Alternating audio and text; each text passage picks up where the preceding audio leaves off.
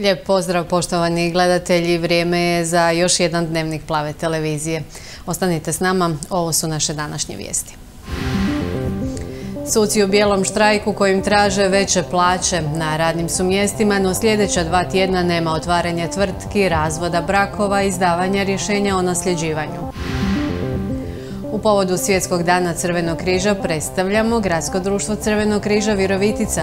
Jedini u Virovitičko-Podravskoj županiji imaju pučku kuhinju u kojoj svaki dan skuhaju gotovo 200 obroka. Ručno izrađeni unikatni radovi sve popularniji. Obrtničko-gospodarski sajam u Slatini je okupio više od 50 obrtnika, poduzetnika, obiteljskih poljoprivrednih gospodarstava i udruga.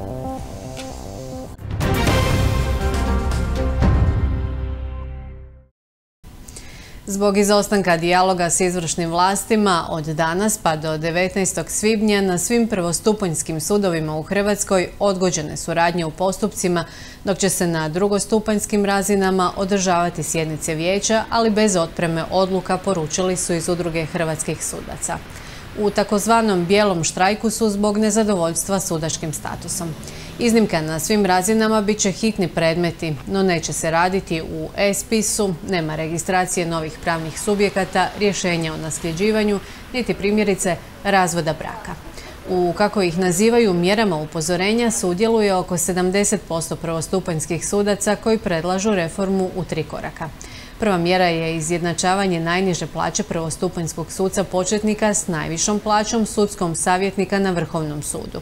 Drugi korak podrazumijeva trajno rješenje, a to je implementacija zakona kojim bi se osnovica odredila kao prosječna mjesečna bruto plaća po zaposlenom u pravnim osobama u Hrvatskoj u prethodnoj godini.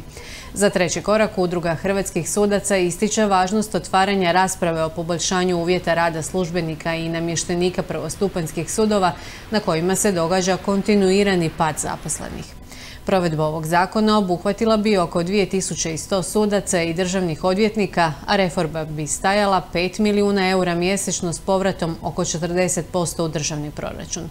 S druge strane, Ministarstvo pravosuđa i uprave prošli tjedan najavilo je hitnu izmjenu zakona i povećanje osnovice od 8% za sve pravosudne dužnosnike i dodatno povećanje od 26% za pravosudne dužnosnike prvog stupnja. Tim prijedlogom sucima i zamjenicima državnih odvjetnika na prvom stupnju primanja bi nominalno porasla u prosjeku 513 eura u neto iznosu.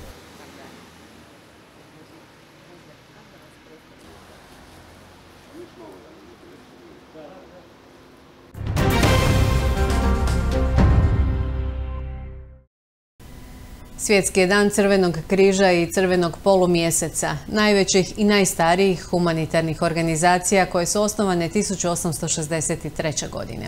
Obilježava se 8. svibnja u znak počasti njihovu utemeljitelju Enriju Dunantu koji je na taj dan rođen 1828. godine. Svjetskim danom Crvenog križa i Crvenog polumjeseca u Hrvatskoj započinje tjedan Crvenog križa koji traje do 15. svibnja. Obilježavaju ga i u Gradskom društvu Crvenog križa Virovitica, koja je jedina humanitarna organizacija na području Virovitičko-Podravske županije s organiziranom pučkom kuhinjom. Svakodnevno u njoj skuhaju oko 180 obroka i podijele ih i odvezu potrebitima. Od ranog jutra radi se u jedinoj pučkoj kuhinji u Virovitičko-Podravskoj županiji. Na jelovniku su juha, svinski kotleti, umaku s rižom i salata. 26 kila kotleta smo potrošili, 12 e, kila riže, plus kosti ovo za juhu, salate znači oko 25 kila miješane, recimo danas je išla iz konzerve, 25 kila miješane salate i tako. Skuhali su 180 obroka i podijelili ih potrebitima. Uglavnom su to korisnici socijalne naknade kojima država ili grad Virovitica na ovaj način osiguravaju jedan kuhani obrok u danu. No usluge pučke kuhinje koristi i nekolicina korisnika koji si sami plaćaju obroke. Za samo 3 eura i 72 centa ručak im svakog radnog dana stiže na kućnu adresu. Imamo tri šofera koje odlaze na tri strane različite i oni razvoze hranu. Znači otišlo je jutro 150 obroka, to sve dečki razvoze tu plus ovo što dolaze jest tu. Većinski se kuhaju e, što se može nešto podgrijati, znači nema ono ćevap ili meso na naglo, to je dok dođe do njih je jako drveno. Znači variva, saftovi što više jer si ljudi mogu to i podgrijati i takve stvari. Evo. Pučka kuhinja u Virovitici u okviru Gradskog društva Crvenog križa brine o prehrani potrebitih od 1996. godine. Prije sedam godina osnovali su i socijalnu samoposlugu u kojoj s hranom, kućnim i higijenskim potrebštinama kontinuirano pomažu stotinjak obitelji s područja Virovitice i pet okolnih općina. I svega toga, kažu, ne bi bilo bez brojnih volontera koji prikupljaju namirnice i rade u socijalnoj samoposluzi tim povodom baš u ovom tjednu Crvenog križa koji traje od danas do 15. svibnja e, imamo akciju prikupljanja namirnice za socijalnu samoposlugu u suradnji sa trgovačkim centrom e, Kaufland. Puno nam tu pomažu sve škole s područja našeg djelovanja koji redovito uz dva najveća naša blagdana, znači Božić i Uskrs, prikupljaju namirnice za poslugu u, u, ovaj, u razredima. Kontinuirano Gradsko društvo Crvenog križa Virovitica provodi i projekt Zaželi. Nedavno je završila treća faza u kojoj je 30 geronto domaćica brinulo o 210 starijih i nemoćnih osoba, a velika je važnost ističu i također nedavno završenog projekta FEAD. Kroz taj projekt je podijeljeno 12.000 paketa hrane, 880 dječjih paketa i 2400 paketa eh, higijenske potrebština, što vam je ukupno nekih 210 tona hrane i higijene koje su u kratkom periodu, znači od kraja 12. mjeseca do kraja 3. mjeseca tim korisnicima podijeljeni. Akcije dobrovoljnog darivanja krvi također su jedna od djelatnosti ove najveće humanitarne organizacije, a provode i tečajeve prve pomoći. Kroz projekt jačanja kapaciteta organizacija civilnog društva nabavili su opremu potrebnu u kriznim situacijama, a zahvaljujući još jednom europskom projektu, Gradsko društvo Crvenog križa Virovitica postalo je banka hrane za područje Virovitičko-Podravske županije.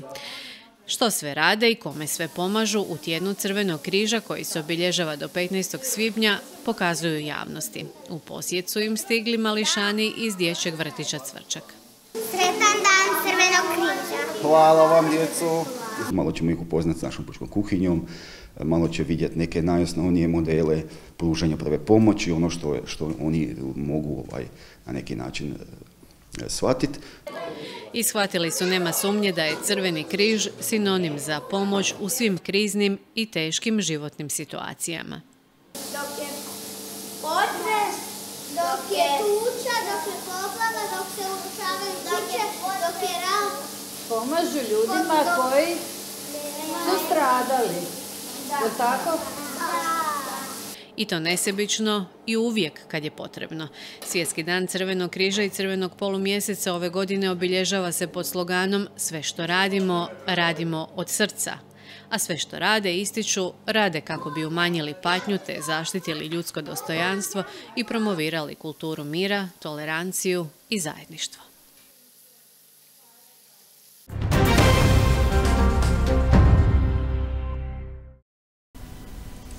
Sunčano vrijeme privuklo je brojne posjetitelje, ali i izlagače proteklog vikenda u Slatinu na tradicionalni osmi po redu obrtničko-gospodarski sajam. Takozvani sajamski grad bio je domaćin za više od 50 obrtnika, poduzetnika, obiteljskih poljoprivrednih gospodarstava i udruga koji su prezentirali svoje proizvode i usluge. Atmosferu su dodatno začinili suhopoljski tamburaši i članovi Hrvatskog kulturno-umjetničkog društva Dika i Slatine koji su se predstavili spletom slatinskih plesova. Pasimo rukice, malo, ajde sad. Tako, bravo. I sad idemo rukice, idemo centriramo, znači centar, stišćemo jako, koliko god možemo. Jako stisni, jako. Ajde, bravo, bravo. Tradicionalna izrada glinenih predmeta na lončarskom polu zahtjeva vješte ruke i majstorsko znanje. Ivan je na Slatinski sajam došao čak iz Slavonskog broda, a jedini je preostali tradicijski lončar u Slavoniji i jedan od posljednjih u Hrvatskoj. Ovo mu je bila idealna prilika da pokaže zainteresiranima, a posebno onim najmlađima zanimanje kojim gotovo da se više nitko i ne bavi. Dosta, dosta su djeca zainteresirana, jako su zadovoljni i sretni. Evo vidim danas ovaj, u Slatini. Prvi puta sam tu došao sa ovim lončarskim kolom. E, ljudi, stariji, mladi, veliki, oduševljeni su svi, svi su bili oko mene, stotine ljudi da su okupili oko kola koji nisu nikad to u životu vidjeli. Ja im od srca pokazujem svima i da im ostaje to u sjećaju. Slatinski sajam svake godine posjećuje i Jasna koja predstavlja učeničku zadrugu Obrtnik iz Slatine. Na izložbenim, ali i prodajnim štandovima predstavljaju svoje proizvode uz naglasak očuvanja kulturne baštine i inovacije. Smatram ih pozitivnih zato što e, građani mogu vidjeti što mi radimo, promocija naše škole i naših zanimanja. I stolari i krojači i smatra se da su to zanimanja budućnosti, da će sve više učenika upisivati jer u stvari majstora više nema. Iako su danas gotovo svi proizvodi na dohvat ruke, pokazalo se da ljudi sve više cijene baš taj ručni i unikatni rad. Upravo je to jedan od razloga zašto je ovaj sajam okupio toliki broj izlagača koji su se predstavili baš s takvim proizvodima. Mi se predstavljamo sa kvalitetom proizvoda koji traje jako dugo jer to su ručno šivane papuče koje nisu lijepljene, koje su čvrste, otporne na vodu i ne raspadaju se i sve su od kože. Kvaliteta nas znači drži na tržištu. To radim samo sa sojnim voskom i sa eko mirisima, eko bojama, eko fitiljima i evo imamo nešto ovako malo novo što na području grada trenutno ja sam samo jedina koja se bavi proizvodnjom svijeća, tako da evo pokušavamo malo biti drugačiji i davati ono što drugi nemaju. Nema drugog izbora osim ovako neke manifestacije koja se naravno obilježava da se može prodati svoj proizvod. Kao i udruga Vretenac što ima, što roditelji prave, radove domaće, to prodajemo i od toga znači u biti nam je da prodamo što više, da možemo kupiti materijal da se nešto napravi. Posjetitelji su mogli uživati osim u glazbi i u kušanju razlih izloženih delicija i upoznavanju s ostalim obrtnicima. Pa došao sam da vidim malo svijeta, da čujem glazbu i tako. Pa došao sam malo sa mamom obići sajem, možda smo sami smo obrtnice pa malo da podržimo i ostale. Slatinski sajam organizirali su Udruženje obrtnika Slatina, Grad Slatina i Gradska turistička zajednica te Gradska razvojna agencija. Odazivom su istaknuto je i tekako zadovoljni.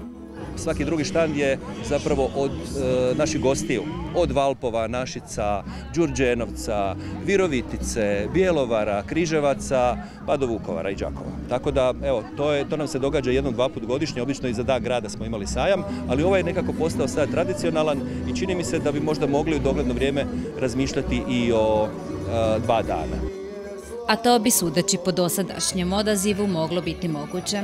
Prva obrtna zadruga u Slatini osnovana je davne 1883. godine, o čemu svjedoči i prvi pisani statut slatinskih obrtnika registriran u Zagrebu. Obrtnici su i dalje jedan od najznačajnijih gospodarskih čimbenika i pokretača privrede, a trenutno ih je na području Slatine 400 tinjak.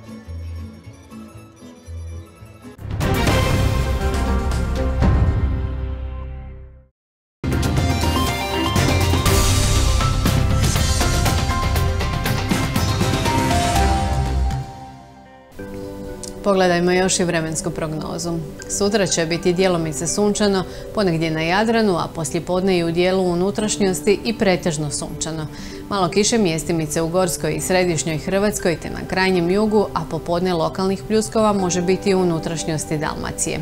Vjetar slab do umjeren sjeveroistočni. Na Jadranu će puhati slaba i umjerena, u prvom dijelu dana na sjeveru ponegdje jaka bura s olujnim udarima, a sredinom dana i poslije podne na srednjem i južnom Jadranu jugozapadnjak i sjeverozapadnjak. Najniža jutarnja temperatura bit će između 5 i 10, na Jadranu od 13 do 18, a najviša dnevna između 18 i 23 Celzijeva stupnja, u gorju malo niže.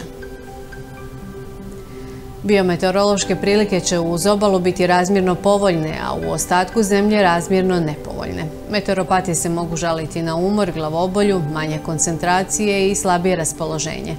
Pojačane tegobe mogu osjećati i kronični bolesnici, zbog čega im se savjetuje da slušaju savjete liječnika i izbjegavaju suvišne napore. Idućih će dana biti promjenjivo i pretežno oblačno. Povremeno je izgledna kiša, mjestimica u četvrtak i obilnija, a uglavnom na Jadranu pljuskovi s grmljavinom, lokalno i izraženiji. Puhaće slabiji umjeren jugoistočni i istočni, u četvrtak ponegdje sjeveroistočni vjetar. Na Jadranu slabo i umjereno jugo, u četvrtak i jako, prolazno u okretanju na južni i jugozapadni vjetar, na sjeveru na buro. Temperatura će se još malo sniziti.